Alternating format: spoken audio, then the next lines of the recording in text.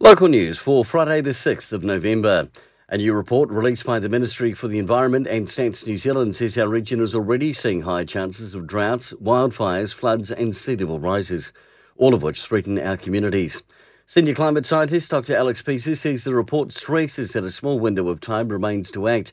We need to act urgently to make the unnecessary carbon emission reductions to avoid the severe impacts of a world that is two degrees hotter than today.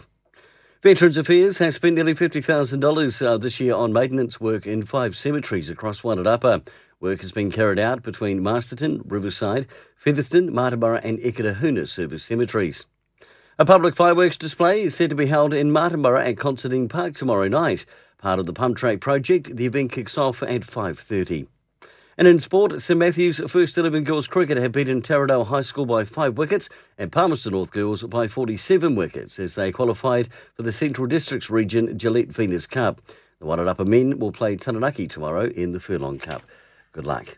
For local news and sport, I'm Gare.